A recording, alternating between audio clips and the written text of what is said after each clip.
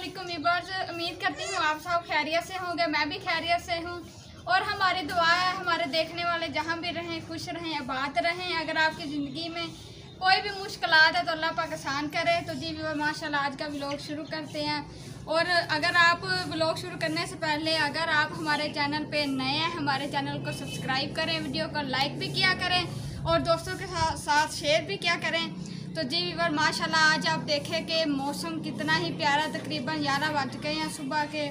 اور آپ کو پتا کہ اس ٹائم کتنی زیادہ دھوپ ہوتی ہے ہمارے گھر، لیکن آج بہت ہی ماشاء اللہ ہوا، ٹھنڈی چل رہی ہے آپ دیکھیں پہلے کہ ماشاء اللہ موسم کتنا خوبصورت بنا ہوا ہے۔ بارش تو روز ہی نہیں ہوتی، میں آپ کو روز ہی بتاتی ہوں، لیکن ابھی تک بارش نہیں ہوئی، لیکن موسم واقعی بہت پیارا بنا ہوا ہے۔ اور چلو بارش ہو نہیں بھی ہو رہی لیکن یہ ہے کہ ہوا چل جاتی ہے تو پھر نہ تھوڑی گرمی کم ہو جاتی ہے۔ تو جی بس آج آپ نے مجھے کمنٹس کر کے بتانا ہے کہ آپ کو میرا وہ والا بھی لوگ اچھے لگتا ہے جو میں بناتی ہوں۔ گھر کے کام کاج کے کہ میں بلو رانی کے ساتھ آج کل جو بنا رہی ہوں لوگ، آپ کو وہ اچھا لگتا ہے۔ تو آپ نے ضرور کمنٹس کر کے مجھے لازمی بتانا ہے۔ تاکہ میں آپ کی کمنٹس کے مطابق بھی لوگ بناؤں، آپ کی فرمائش پہ بناؤں۔